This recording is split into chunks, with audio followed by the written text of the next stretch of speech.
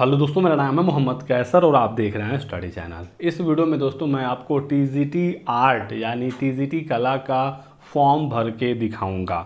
बहुत सारे छात्रों को इसमें कन्फ्यूज़न है कि कैसे फॉर्म भरना है और योग्यता को लेकर विशेष कर काफ़ी कन्फ्यूज़न है। सबसे ज़्यादा यदि किसी विषय में कन्फ्यूज़न है, योग्यता को लेकर तो वो है टीजीटी आर्ट मैं यहाँ पर रजिस्ट्रेशन आपको करके दिखाऊँगा और योग्यता भी हम लोग साथ ही साथ देखेंगे। ताकि आपको फॉर्म भरने में कोई समस्या ना आए। टीजीटी आर्ट में पहली चीज़ दोस्तों की बीएड की आवश्यकता नहीं है। ये तो सबको अब तक जानकारी हो ही गई है। देख सकते हैं हमारा फॉर्म यहाँ पर खुल गया है। फॉर्म जैसे ही आप खोलें, आप यहाँ पर एक बार ज़रूर देखें कि टीजीटी आर्ट लिखा है या नहीं, या जिस भी विषय के लिए आप आवेदन कर रहे हैं, वो चीज़ आप यहाँ पर देख लें ताकि क्लियर हो जाए कि आप सही विषय के लिए आवेदन कर रहे हैं। यहाँ पर जो डिटेल भरनी है वो बिल्कुल बेसिक है। आपका नाम है, father name, mother name, date of birth वगैरह। और फॉर्म कैसे भरना है इस पर मैंने ऑलरेडी एक वीडियो बनाया हुआ है। बिल्कुल डिटेल में शुरू से लेकर लास्ट तक photo sign upload fee payment सब कुछ मैंने बताया हुआ है। तो उस वीडियो को आप चाहें तो देख सकते हैं। ये बेसिक वाली जानकारी आपको सब कुछ वहाँ पर मिल जाएगी। यहाँ पर हम लोग स्पेशली बात करेंगे आर्ट के लिए आपको कैसे कैसे फॉर्म भरना है। तो यहाँ पर दोस्तों आपको अपना एकेडमिक क्वालिफ़िकेशन फिल करना है। एकेडमिक क्वालिफ़िकेशन में आपको यहाँ पर अपने टेंथ की पूरी डिटेल्स फिल करनी है। फिर अपने ट्वेल्थ की पूरी डिटेल्स फिल करनी है। जो नॉर्मली आपने टेंथ किया था, उसके बाद जब आपने ट्वेल्थ किया था तो वो दोनों डिटेल्स आप यहाँ पर फिल कर देंगे। अब बढ़ेंगे आगे और इसेंशियल क्वालिफ़िकेशन में आएँगे, जहाँ पर छात्रों को कन्फ्यूज़न होता है। इसेंशियल क्वालिफ़िकेशन में यहाँ पर देखिए सबसे पहली चीज़ ये लिखी गई है कि आपका यदि आर्ट मास्टर ट्रेनिंग सर्टिफिकेट है, यदि आपने ये कोर्स किया है, जिसे पहले कहा जाता था, ड्राइंग टीचर सर्टिफिकेट। यदि आपके पास ये वाला सर्टिफिकेट है तो आपको यहाँ पर यस पर क्लिक कर देना है और आपको अपने आर्ट मास्टर टीचर सर्टिफिकेट की डिटेल्स यहाँ पर भरनी है, यानी कि आपने किस स्टेट से ये कोर्स किया था, कौन सा यूनिवर्सिटी था पासिंग ईयर जो भी यहाँ पर डिटेल्स मांगी जा रही हैं, आप सब कुछ इसमें फिल कर देंगे।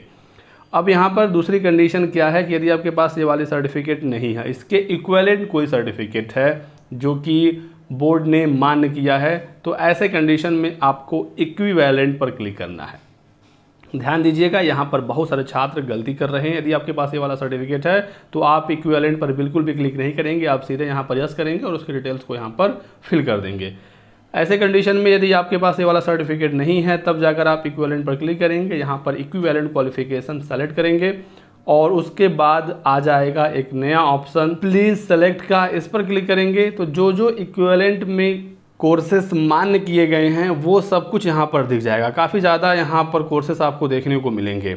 यदि आपने दोस्तों बारहवीं में अपने टेक्निकल आर्ट पढ़ा है तो जो सबसे लास्ट वाला ऑप्शन है, इस पर आप क्लिक करेंगे, यहाँ पर देख सकते हैं, लिखा गया है, Uttar Pradesh secondary education council intermediate examination with technical art तो टेक्निकल आर्ट जिन्होंने पढ़ा है ट्वेल्थ में उनको लास्ट वाले ऑप्शन पर क्लिक करना है और आपको अपने ट्वेल्थ की पूरी डिटेल्स यहाँ पर भरनी है, क्योंकि आपने यहाँ पर वही सेलेक्ट किया है।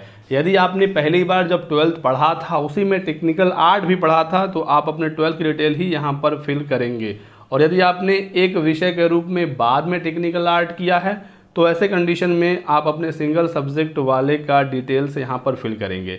दोस्तों, यदि आप चीज़ों को ध्यान देंगे, बारीकी से समझेंगे तो फॉर्म में गलती नहीं होगी, आप खुद ही समझ पाएँगे, आप इतने पढ़े लिखे एजुकेटेड हैं।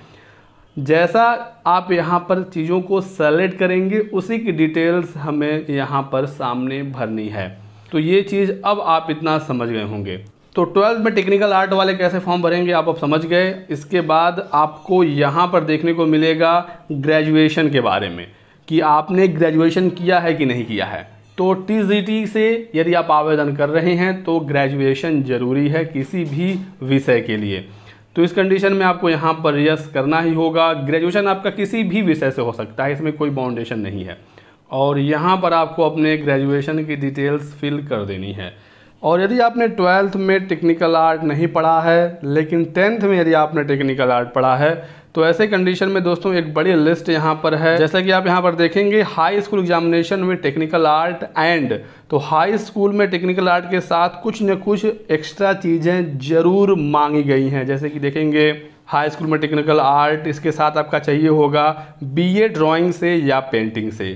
तो यदि आपके पास ये वाला एलिजिबिलिटी है तो आप इस पर क्लिक करके आपको उसकी डिटेल्स यहाँ पर सामने भर देनी है। उसी के साथ साथ देख लीजिए हाई स्कूल के साथ क्या क्या कॉम्बिनेशन है। तो हाई स्कूल टेक्निकल आर्ट और Bombay intermediate grade drawing examination या फिर हाई स्कूल टेक्निकल आर्ट के साथ Bombay third grade art teacher school examination फिर यहाँ पर है हाई स्कूल टेक्निकल आर्ट के साथ Calcutta final drawing teachership examination या फिर हाई स्कूल टेक्निकल आर्ट के साथ और certificate of state drawing and handicraft centre Allahabad.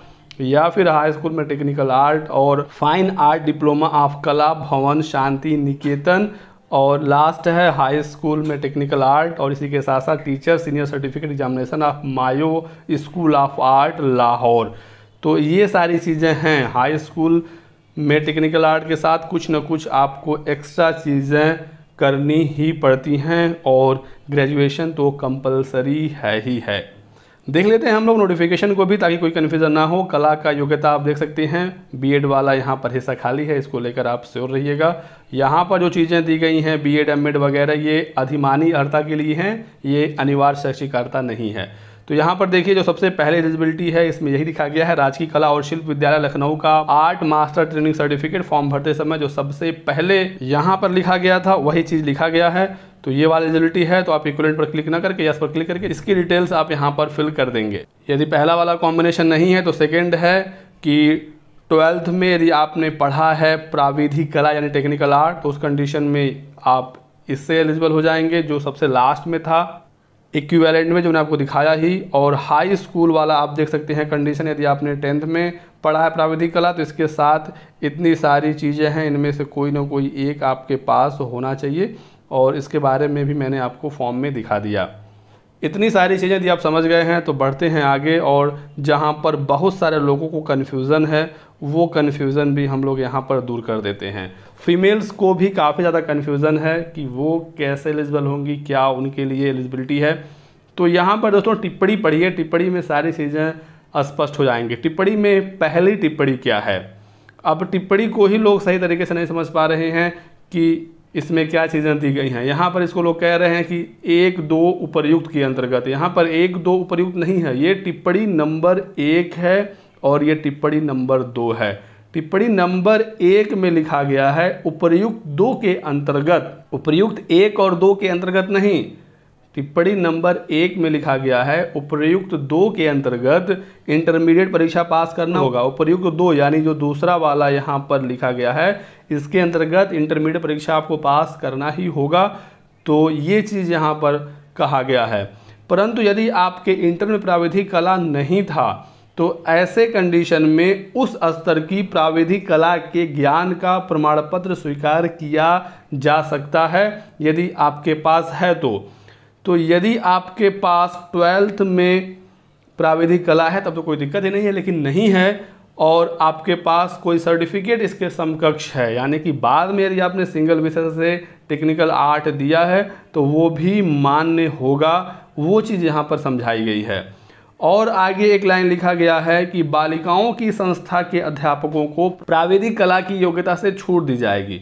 तो यहाँ पर सबसे पहली चीज़ ये है कि सभी बालिकाओं को छूट नहीं है। बालिका की संस्था में जो आवेदन करेगा, उसको छूट है। तो बालक तो बालिका की संस्था में आवेदन कर नहीं सकते तो बालकों को बिल्कुल छूट नहीं है। महिलाएँ यदि बालक वर्ग से आवेदन करती हैं तो उनको भी नहीं छूट होगा। बालिकाएँ यदि बालिका संस्था से आवेदन करती हैं तो उन्हें प्राविधिक कला की योग्यता से छूट दी जाएगी। ये आप समझ लीजिए। यानी कि उनका यदि ट्वेल्थ में प्राविधिक कला नहीं है, कोई सामान्य भी कला है तो भी उनका चल जाएगा यहाँ से। बाकी जो योग्यताएँ हैं, वो कंप्लीट होनी चाहिए। सेम ऐसे ही टिप्पणी नंबर दो में लिखा गया है कि उपरयुक्त तीन के अंतर्गत हाई स्कूल परीक्षा पास करना अनिवार्य है। उपरयुक्त तीन क्या था? जो ये वाला है कि हाई स्कूल में प्राविधिक कला होना चाहिए तो हाई स्कूल तो पास होंगे ही, तभी तो प्राविधिक कला उसमें होगी। तो उपयुक्त तीन के अंतर्गत हाई स्कूल परीक्षा पास करना अनिवार्य होगा। परंतु यदि उस परीक्षा में प्राविधिक कला का प्रमाण उपलब्ध नहीं है, यानी कि टेंथ आपने दिया था, लेकिन उसमें टेक्निकल आर्ट आपने नहीं पढ़ा था तो उस स्तर की जो प्राविधिक कला का प्रमाण पत्र है वो स्वीकार किया जा सकता है। यानी कि वही सिंगल विषय की बात यहाँ पर भी हो रही है। हाई स्कूल में सिंगल विषय से प्राविधिक कला यदि आपने पढ़ा है तो वो भी एलिजिबल होगा। उसके साथ जो ये कॉम्बिनेशंस हैं ये आपके पास होने चाहिए। यहाँ पर भी बालिकाओं की संस्था में अध्यापक को प्राविधिक कला की योग्यता से छूट मिलेगा। और सबसे इम्पोर्टेंट नोट यहाँ पर है इसमें लिखा गया है कि सहायक अध्यापक के लिए स्नातक का उपाधि होना आवश्यक है। कोई भी कम्बिनेशन हो, कोई भी कंडीशन हो टीजीटी आर्ट के लिए ग्रेजुएशन आपका लगेगा ही लगेगा। इसमें कोई भी शक सुबह नहीं है। फॉर्म में भी देख सकते हैं दोस्तों, यहाँ पर क्लियरली लिखा गया है नोट में कि teachers of girls institution will be exempted from the qualification of technical art तो गर्ल्स इंस्टीट्यूशन की जो टीचर्स होंगी, उन्हें टेक्निकल आर्ट की योग्यता से छूट दिया जाएगा। तो इतनी सारी चीज़ें अब आप समझ गए। थर्ड नंबर पे है high school examination with technical art high school में टेक्निकल आर्ट था तो उसकी डिटेल्स आपको यहाँ पर फिल करनी है। यदि आपके पास नहीं है तो आप इसे नो भी कर सकते हैं। पूरी तरह से ऑप्शनल है। ऊपर वाले दोनों आपके मैंडेटरी थे। इसके बिना तो आप फॉर्म भर ही नहीं सकते, लेकिन ये वाला ऑप्शनल है। और यदि आपका सिंगल सब्जेक्ट से हाई स्कूल है टेक्निकल आर्ट तो आपको यहाँ पर जस्ट करना होगा। बाकी ये ऑप्शनल है तो आप इसके बिना भी फॉर्म भर पाएँगे, कोई समस्या नहीं आएगी। इसके आगे का फॉर्म कैसे भरना है तो आप इस वीडियो का डिस्क्रिप्शन देख लीजिएगा। इसके आगे आपको वीडियो मिल जाएगा। कोई भी समस्या आपको नहीं आएगी फ़ोटो साइन वगैरह सब कुछ मैंने बताया हुआ है डिटेल में। कैसे कैसे बनाना है और अपलोड करना है। इसके अलावा किसी और विषय का यदि आप देखना चाहते हैं वीडियो फॉर्म भरने का टीजीटी पीजीटी के लिए आप हमें कमेंट सेक्शन में ज़रूर बताइएगा। कोई भी कंफ्यूजन हो तो आप हमसे सीधे सीधे पूछ सकते हैं। यदि आपने अभी तक हमारे टेलीग्राम चैनल को ज्वाइन नहीं किया तो ज़रूर ज्वाइन कर लीजिएगा। लिंक डिस्क्रिप्शन बॉक्स में और पिन कॉमेंट में दिया गया है। बहुत बहुत शुक्रिया वीडियो को लास्ट तक देखने के लिए। Thanks for watching